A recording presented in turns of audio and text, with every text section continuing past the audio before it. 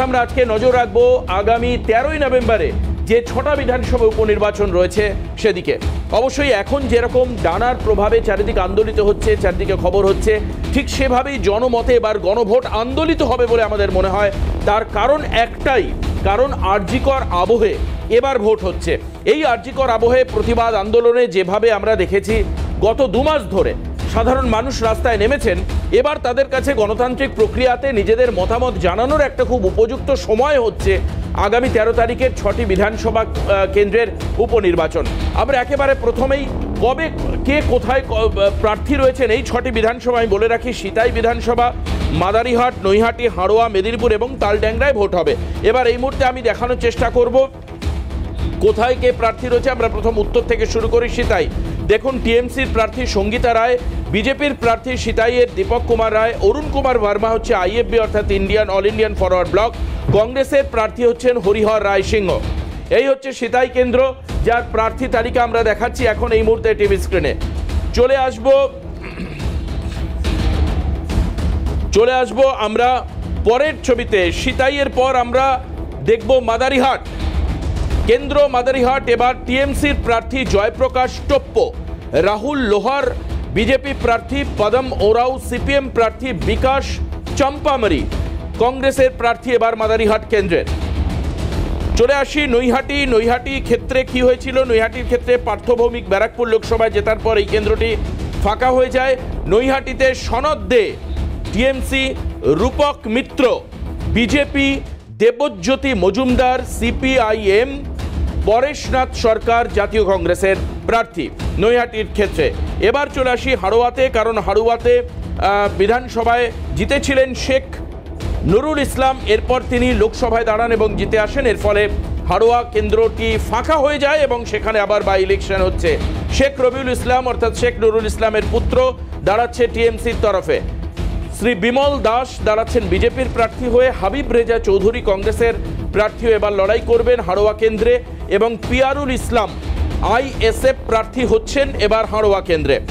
আর এবার আমরা আসব পরের কেন্দ্র মেদিনীপুর, কারণ এই মেদিনীপুরের বিধানসভায় জিতেছিলেন জুন মালিয়া জুন মালিয়া পরবর্তীকালে লোকসভায় দাঁড়ান মেদিনীপুর লোকসভা কেন্দ্রে। সেখানে তিনি অগ্নিমিত্রা পলকে হারান এবং লোকসভায় জেতেন সাংসদ হন। এই কেন্দ্রটি ফাঁকা হয় মেদিনীপুরে। মেদিনীপুরে সুজয় হাজরা টিএমসির হয়ে লড়ছেন, শুভজিৎ রায় বিজেপির হয়ে লড়ছেন, মণিকুন্তল খামরুই সিপিএমের হয়ে লড়াই করছেন শ্যামল কুমার ঘোষ। কংগ্রেসের প্রার্থী হয়ে দাঁড়াচ্ছেন মেদিনীপুর কেন্দ্রে। আরও আরেকবার রিপিট করি, Sujay Hazra TMC, Subhajit Roy BJP, Manikuntal Khamrui CPM. এবং শ্যামল কুমার ঘোষ জাতীয় কংগ্রেসের প্রার্থী হচ্ছেন মেদিনীপুরে। তালডাংরা।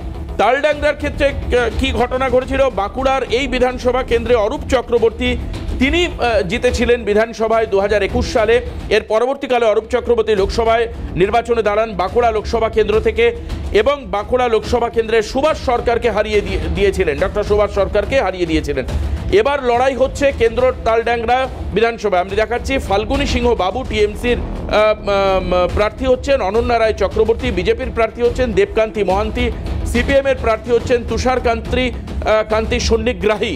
এবারকার জাতীয় কংগ্রেসের প্রার্থী হচ্ছেন তালডাংরায় এই ছটি কেন্দ্র, এর মধ্যে সিতাই যে বিধানসভা এবার লড়াই হচ্ছে, সেখানে বলে রাখি যে জগদীশ চন্দ্র বাসুনিয়া, জগদীশ চন্দ্র বাসুনিয়া কোচবিহারে দাঁড়িয়েছিলেন এমপি ইলেকশনে দু হাজার চব্বিশে যে এমপি ইলেকশন হলো, এবং সেখানে তিনি কেন্দ্রীয় মন্ত্রী নিশীথ প্রামাণিককে পরাজিত করেছিলেন লোকসভায় খুব স্বাভাবিকভাবে দু হাজার একুশের বিধানসভায় আহ, জয়ের পর জায়গাটা ফাঁকা হয়ে যায় এবং সেখানে আবার লড়াই হচ্ছে। আর মাদারিঘাটে বলে রাখি মনোজ ঠিগ্গা আপনারা জানেন আলিপুরদুয়ার লোকসভা কেন্দ্রে মনোজ ঠিগ্গে এবার লড়াই করেন। লোকসভাতে অর্থাৎ দু হাজার চব্বিশ লোকসভা নির্বাচনে সদ্য সমাপ্ত লোকসভা নির্বাচনে এবং সেখানে মনোজ টিগ্গা জয়লাভ করেন। তিনি সাংসদ হন অন্যদিকে মাদারিহাট কেন্দ্রটাও ফাঁকা হয়ে যায়। এই ছটা কেন্দ্রে তেরোই নভেম্বর উপনির্বাচন, রেজাল্ট বেরোচ্ছে তেইশে নভেম্বর। আমার কথা হচ্ছে এই ধরনের উপনির্বাচন বারংবার রাজ্য এবং দেশ বিভিন্ন ক্ষেত্রে দেখে আসে। কিন্তু এবারকার নির্বাচন আমাদের চোখে কেন গুরুত্বপূর্ণ? তার কারণ একটাই, কারণ আর্যিকর আবহে এবার কিন্তু ভোট হচ্ছে। অর্থাৎ কোন দলের পাল্লা ভারী, আর কার দিক থেকে জনমত সরে যাবে, সেটার মোটামুটি একটা অ্যাসিড টেস্ট একটা মোটামুটিভাবে একটা রাসায়নিক সমীকরণ কিন্তু পরিষ্কার হবে এই রাজনৈতিক ভোট পর্বের মধ্যে থেকে বলে আমাদের মনে হয়। তবে আমাদের মনে হওয়াটাই সব নয়, আপনাদের কি মনে হচ্ছে সেটাও আমরা জানাব। সঙ্গে আমাদের যারা রেসপেক্টেবল গেস্ট রয়েছেন, আজকে তাদের গুরুত্বপূর্ণ সময় দিয়েছেন। বিশদ আমি ধন্যবাদ জানাব তাদেরকেও, কারণ তাদেরও একটা কনস্ট্রাকটিভ কনসেপশন এখানে তারা শেয়ার করবেন আজকের এই অনুষ্ঠানে। অবশ্যই দেখাবো, কিন্তু তার আগে ওভারঅল সিনারিও দেখাবো আমাদের প্রতিবেদনের মাধ্যমে। দেখুন।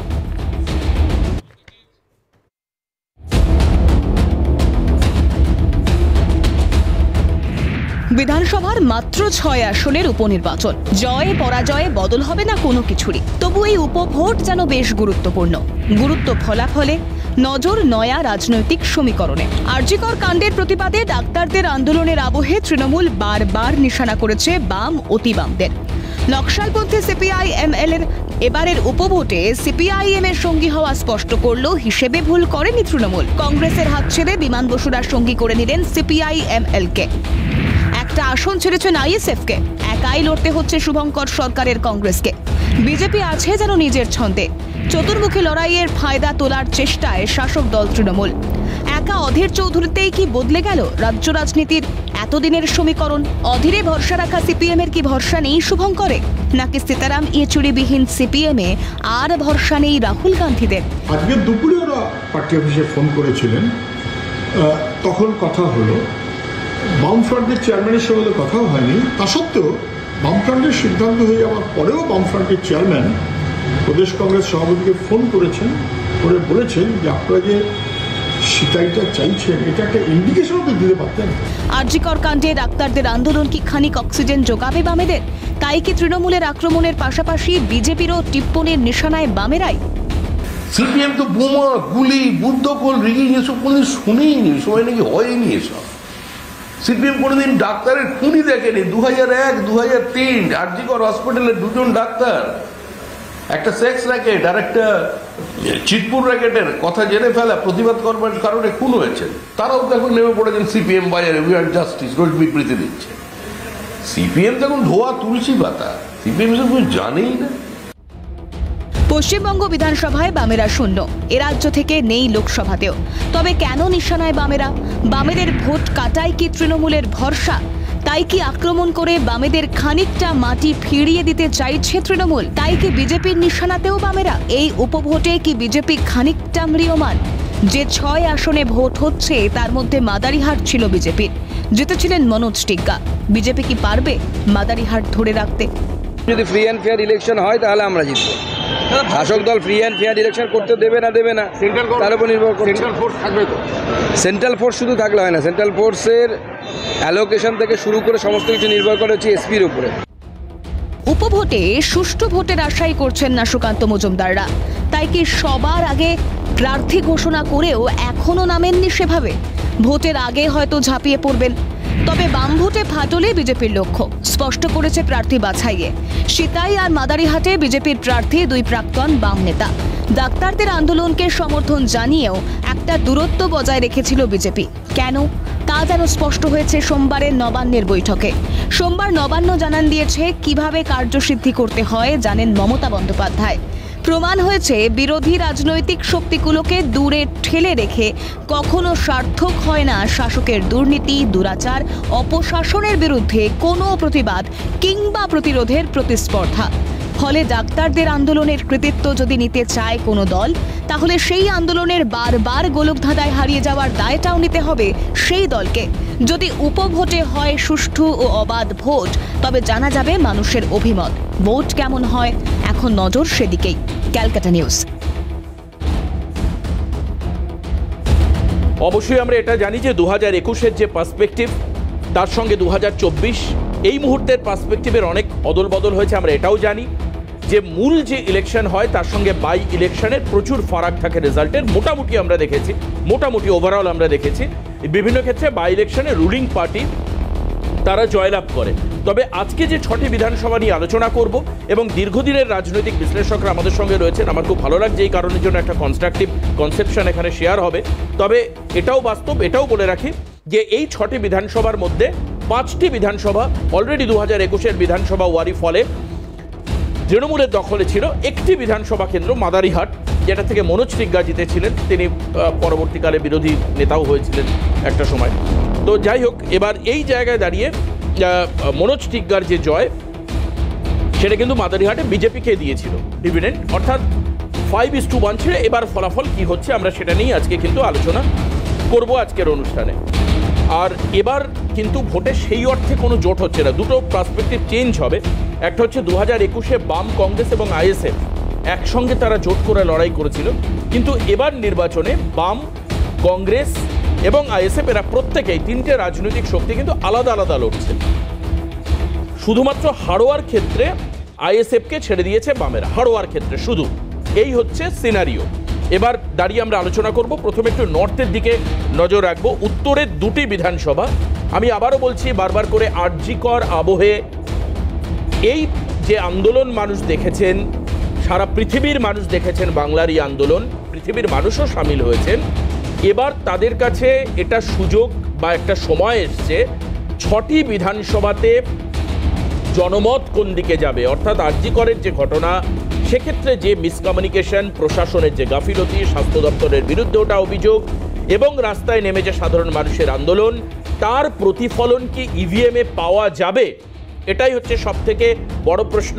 এই জায়গাটা কিন্তু আমরা এই মুহূর্তে আজকে নজর রাখব। তো একেবারে প্রথম আমি চলে আসি কেন্দ্র সীতা, সিতাইয়ের ক্ষেত্রে, কোচবিহারের সিতাই, যেখানে আমি দেখাবো একটু ছবিটা। যেখানে জগদীশ চন্দ্র জগদীশ চন্দ্র বাসুনিয়া, তার এবারকার যে প্রার্থী আমরা দেখতে পাচ্ছি এখন এই মুহূর্তে টিভি স্ক্রিনে দু হাজার একুশের ফলাফল আপনাদেরকে দেখাই। দু হাজার একুশের ফলাফল আমি দেখাই, দেখুন। দু হাজার একুশে যে ফলাফল আমরা দেখতে পাচ্ছি, জগদীশ চন্দ্র বাসুনিয়া তৃণমূলের প্রার্থী ছিলেন, তিনি জয়ী প্রার্থী হয়েছিলেন, forty nine point four two percent vote ছিল, এক লাখ সতেরো হাজার নশো আটটি ভোট পেয়েছিলেন। ঘনিষ্ঠতম বা নিকট প্রতিদ্বন্দ্বী যদি বলতে হয়, বিজেপি ছিল, দীপক কুমার রয়, যার ভোট পার্সেন্ট খুব ক্লোজ মার্জিন ছিল আর কি, forty five point one eight percent, অর্থাৎ এক লাখ সাত হাজার সাতশো ছিয়ানব্বইটা ভোট গিয়েছিল হচ্ছে, বিজেপির কোটায় বিজেপির প্রার্থী পেয়েছিলেন। দীপক কুমার রয়। ঘটনা চক্রে এই ক্ষেত্রে বামেদের কি ভোট ছিল, সেটাও একবার আমি দেখাতে চাইব এই মুহূর্তে।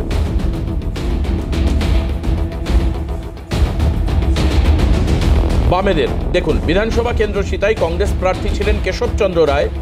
তার প্রাপ্ত ভোট মানে যেহেতু জোট ছিল, আপনারা কংগ্রেস প্রার্থী পাবেন, বাম পাবেন না এখানে, বাম আর কংগ্রেস জোট। কেশবচন্দ্র রায় তার ভোট পার্সেন্টেজ হচ্ছে one point six six one point six six তার প্রাপ্ত ভোট হচ্ছে তিন হাজার নশো চৌষট্টি, তিন হাজার নশো চৌষট্টি হচ্ছে কেশবচন্দ্র রয়, তার ভোট ছিল সীতাই। এবার আমরা চলে আসি মাদারিহাটের ক্ষেত্রে। এবার আমরা আসব মাদারিহাট কেন্দ্র। মাদারিহাট কেন্দ্রের কারা কারা প্রার্থী রয়েছে এবার দেখতে পাচ্ছি। জয়প্রকাশ টপ্প, এবারকার প্রার্থী রাহুল লোহার, এবারকার প্রার্থী বিজেপির। পদম ওরাও সিপিএম এর প্রার্থী, বিকাশ চম্পামারি হচ্ছে এবারকার জাতীয় কংগ্রেসের প্রার্থী। মাদারিহাট কেন্দ্র দু হাজার একুশে একুশের ফলাফল কী ছিল? দেখুন, একুশের ফলাফল যেটা ছিল মাদারিহাটে, মনোজ টিগ্গা এখান জয়লাভ করেছিলেন, তার প্রাপ্ত ভোট ছিল নব্বই হাজার একশো আটাত্তর, সাতশো আঠেরো সাতশো আঠেরো এবং সেটা হচ্ছে ফিফটি ফোর পার্সেন্ট এআইটিসির রাজেশ লাকড়া সেবার দাঁড়িয়েছিলেন। একষট্টি হাজার তেত্রিশ ভোট পেয়েছিলেন, হেরেছিলেন তিনি। ঘনিষ্ঠতম, নিকটতম প্রতিদ্বন্দ্বী সাঁত্রিশ পার্সেন্ট ভোট ছিল এআইটিসির। আপনি দেখতে পাচ্ছেন রাজেশ লাকড়া সাঁত্রিশ পার্সেন্ট মতো ভোট তিনি পেয়েছিলেন, ছত্রিশ পয়েন্ট পাঁচ ছয় পার্সেন্ট। প্রাপ্ত ভোট ছিল একষট্টি হাজার তেত্রিশ, মনোজ টিগ্গার থেকে উনত্রিশ হাজার ছশো পঁয়ষ- পঁচাশি ভোটে জয়ী হয়েছিল বিজেপি। এবার এই কেন্দ্রে বাম বা কংগ্রেস জোট, অর্থাৎ বাম কংগ্রেস আইএসএফ জোটের কে প্রার্থী ছিলেন, একবার দেখব মাদারিঘাটের ক্ষেত্রে। তারপর আমি আলোচনায় আসব। মাদারিহাটের ক্ষেত্রে বাম প্রার্থী ছিলেন সুভাষ লোহার, আরএসপির প্রার্থী। তার মোট ভোট ছিল সাত হাজার বাহাত্তর। সাত হাজার বাহাত্তর মাদারিহাটের ক্ষেত্রে সাত হাজার বাহাত্তর, সেটা মোটামুটিভাবে four point two four percent vote নিয়ে একটা অভিযোগ করছিলেন যে ঠিকঠাকভাবে ভোট হচ্ছে না। আমি তখন বললাম যে কেন্দ্রীয় বাহিনী এসে তাহলে কি করছে? কিন্তু এই ক্ষেত্রে আমরা এই জগদীশ চন্দ্র বাসুনিয়া, যিনি এখন এমপি, কোচবিহারের লোকসভা কেন্দ্রের এমপি, যিনি অবশ্যই এই ভোটের দায়িত্বে থাকবেন, তিনি কি বলেছেন এই সিতাই বিধানসভা কেন্দ্রের উপনির্বাচন নিয়ে? একবার একটু আমি জনমানুষের সামনে রাখতে চাই। তাহলে এই যে ভোটের ম্যানুপুলেশন নিয়েও ছবিটা স্পষ্ট হবে। কি বলেছেন তিনি? জাস্ট একদিন আগে কি বলেছেন তিনি? শোনাবো। শুনুন। মতো, তাকে আমরা শুধু হারা নয়, এমন হারা হারাতে চাই যে জীবনে আর কোনোদিন ভোটে দাঁড়ার কথা সে ভাবে না। এমনিতে আমি ধন্যবাদ জানাব যে বুথ থেকে তিনি প্রার্থী, যে বুথে তার ভোট, এখানে সেই বুথের পঞ্চায়েত আছেন সেই বুথ থেকে কোনোদিন দীপক রায় জেতেননি, এবারও জিতবেন না সেটা শিওর এবং শুধু জিতবেন না নয়, সেই বুথেও যাতে তার পোলিং এজেন্ট না থাকে, এমন ব্যবস্থা আমাদের করতে হবে। প্রত্যেকটা মানুষের কাছে যেতে হবে, প্রত্যেকটা মানুষকে মমতা ব্যানার্জির উন্নয়নের কথা বলতে হবে। বাংলার মানুষকে ভাতে বাড়ার চক্রান্ত। তাহলে কোনো একজন সাংসদ তার মানে ধরে নিতে হবে তার সংসদীয় ওই লোকসভা কেন্দ্রের মধ্যে তিনি হচ্ছেন লোকসভার সাংসদ। তিনি যখন মানুষকে বলছেন, জনসভায় দাঁড়িয়ে, এটা কোনো কর্মী সভা নয়, জনসভায় দাঁড়িয়ে বলছেন যে যাতে প্রার্থী তার কেন্দ্রে বিজেপি এজেন্ট না দিতে পারে, তার ব্যবস্থা করতে হবে। এই যে থ্রেট কালচার এতদিন আমরা বলতাম, শাসানি, এবার তো আরজি করা বইয়ের পর থ্রেট কালচার এই থ্রেট কালচারের কি জবাব আছে? কুণাল ঘোষ কি বলছেন? এবার কংগ্রেসের ভূমিকা নিয়ে রাজ্যে রাজ্যে কংগ্রেস রাজ্যে কংগ্রেসের ভূমিকা কি? দেখুন আজকে কিন্তু আমরা একটু লোকেশনাল চেঞ্জ করেছি। চন্দনদাকে একটু দূরে রেখেছি মাঝখানে অরিন্দদাকে দিয়েছি। আপনারা যদি একই সঙ্গে সিরিজে দেখতে পারতেন তাহলে আমাদের সুবীর মজুমদার আমাদের চিত্র সাংবাদিক যেভাবে বসিয়েছে এর মাধ্যমে কিন্তু একটা সমীকরণ পরিষ্কার হচ্ছে। যেটা আগে দেখতেন আগে চন্দন ঘোষ চৌধুরী যখন আসতেন তার পাশেই সুমনদা বসতেন। এখন চন্দন চৌধুরী আর সুমন রায় চৌধুরী একটু দূরে দূরে। তো যাই হোক, আমি সুমনদার কাছে আসার আগে কুণাল ঘোষ কি বলেছেন শোনাবো একবার, শুনুন। দেখুন, বাংলার রাজনীতিতে তৃণমূল কংগ্রেসটাই হচ্ছে মূল কংগ্রেস। তৃণমূল কংগ্রেসই এ রাজ্যে কংগ্রেসের মূল স্রোত এবং জাতীয় স্তরেও যারা কংগ্রেসের পুরনো নেতা, নেত্রী, তারা এটা মনে করেন যে পশ্চিমবঙ্গে কংগ্রেস মানে তৃণমূল কংগ্রেসই সেই ধারক এবং বাহক। কারণ মমতা বন্দ্যোপাধ্যায়, তিনি নিজেও ইন্দিরা গান্ধী এবং রাজীব গান্ধীকে শ্রদ্ধা করেন, সোনিয়া গান্ধীকেও শ্রদ্ধা করেন। তো এখন কংগ্রেস সেই জায়গাটা থেকে বেরিয়ে এতদিন পুরো সিপিএমের সঙ্গে হাত মিলিয়ে বিজেপিকে অক্সিজেন দেওয়ার কাজ করছিল। তো এখন নতুন সভাপতি শুভঙ্কর, তাকে আমরা দেখছি যে তিনি এখন ঠিক করে নেবেন যে তিনিও সিপিএমের সঙ্গে বন্ধনীযুক্ত হয়ে চলবেন, নাকি তিনি সভাপতি হয়ে তার দলটাকে একটা যতই খারাপ অবস্থায় থাকুক, স্বতন্ত্রভাবে আত্মসম্মান নিয়ে তারা সিপিএমের হাতের পুতুল হওয়ার বাইরে গিয়ে তিনি দলকে ঢেলে সাজাবার চেষ্টা করবেন। এই মুহূর্তে আমি একটু দেখাতে চাইব যে আরও চারটি যে বিধানসভা, এক এক করে প্রথম দেখাবো নৈহাটি। নৈহাটিতে এবার এই বিধানসভা নির্বাচনে প্রার্থী কারা হচ্ছেন দেখুন, সনদ দে, টিএমসি প্রার্থী, রূপক মিত্র, বিজেপি প্রার্থী হচ্ছেন এবার, দেবজ্যোতি মজুমদার, সিপিআইএম এমএল প্রার্থী এবার হচ্ছেন জাতীয় কংগ্রেসে থেকে পরেশনাথ সরকার।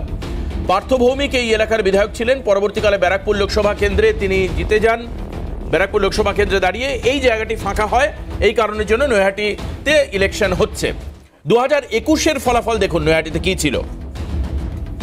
দু হাজার একুশে পার্থ ভৌমিক ভোট পেয়েছিলেন ফিফটি পার্সেন্ট ভোট। ভোট প্রাপ্ত ভোটের সংখ্যা ছিল সাত সাত সাত পাঁচ তিন, অর্থাৎ সাতাত্তর হাজার সাতশো তিপ্পান্ন। সাতশো তিপ্পান্ন ভোট পঞ্চাশ পার্সেন্ট মতো ভোট ছিল। বিজেপির নিকটতম প্রতিদ্বন্দ্বী ছিলেন ফাল্গুনী পাত্র। ভোট পেয়েছিলেন আটান্ন হাজার আটশো আটানব্বই। ভোট পার্সেন্টেজ সাঁত্রিশ দশমিক ছয় চার। আঠেরো হাজার আটশো পঞ্চান্ন ভোটে জয়ী হয়েছিল তৃণমূল পার্থ ভৌমিক ব্যারাকপুর লোকসভায় দাঁড়ান লোকসভায়, লোকসভা নির্বাচনে। এবং পরবর্তীকালে তিনি জয়লাভ করেন। এই এলাকা ফাঁকা হয়। বাম কংগ্রেসের পরিস্থিতিটা দেখি, কি ছিল নৈহাটিতে বাম কংগ্রেস জোট। আইএসএফ জোট। নৈহাটিতে বাম প্রার্থী ছিলেন ইন্দ্রাণী কুন্ডু মুখার্জি, সিপিআইএম। পনেরো হাজার আটশো পঁচিশ ভোট পেয়েছিলেন, ভোট শতাংশ ছিল দশ পার্সেন্ট। অর্থাৎ উত্তরবঙ্গের থেকে এখানে ভোট পার্সেন্টেজ অনেকটাই বেশি, দশ পার্সেন্ট। চলে আসি হাড়োয়াতে। হাড়োয়াতে হাড়োয়া দেখাচ্ছি এবার। হাড়োয়া বিধানসভা কেন্দ্র, এবার শেখ রবিউল ইসলাম, টিএমসি প্রার্থী, শ্রী বিমল দাস, বিজেপি প্রার্থী, হাজিব রেজা চৌধুরী, কংগ্রেস, জাতীয় কংগ্রেস প্রার্থী, আইএসএফ এখানে পিয়ারুল ইসলাম এই ক্ষেত্রে বামেরা আইএসএফকে এই আসন ছেড়ে দিয়েছে। পিয়ারুল ইসলাম হাড়োয়াতে ফলাফল কি ছিল দু হাজার একুশ সালে? দু হাজার একুশের ফলাফল হাড়োয়াতে কি ছিল? হাজি নুরুল ইসলাম এই ক্ষেত্রে তৃণমূলের প্রার্থী ছিলেন, এক লক্ষ তিরিশ হাজার তিনশো আটানব্বই ভোট পেয়েছিলেন, সাতানব্বই সাতান্ন পার্সেন্ট ভোট পেয়েছিলেন। আর এস এমপি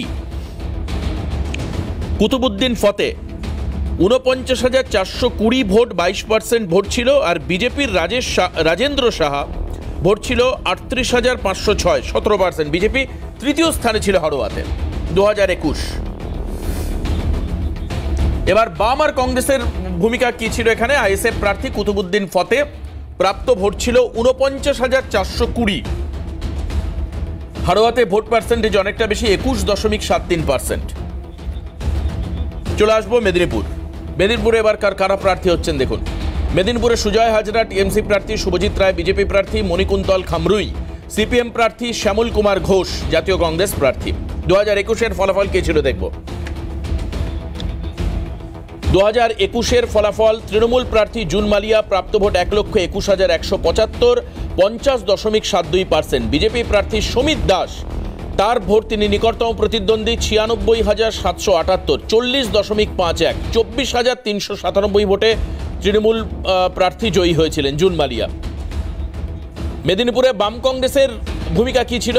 মানে তাদের প্রাপ্ত ভোট কি ছিল? তরুণ কুমার ঘোষ, সিপিআই প্রার্থী ছিলেন বারো হাজার নশো চুরাশি vote five point four three percent vote ছিল বাম কংগ্রেস জোটের, একুশের বিধানসভা নিরিখে।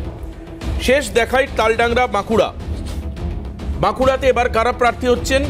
Falguni Singha Babu TMC, Ananya Roy Chakraborty, BJP, Debkanti, Mohanty CPM Tusharkanti, Sannigrahi, Congress. একুশের ফলাফল কি ছিল? তৃণমূল প্রার্থী অরূপ চক্রবর্তী বিরানব্বই হাজার ছাব্বিশ ভোট পেয়েছিলেন, পঁয়তাল্লিশ মোট ভোট প্রাপ্তির পঁয়তাল্লিশ দশমিক দুই নয় পার্সেন্ট।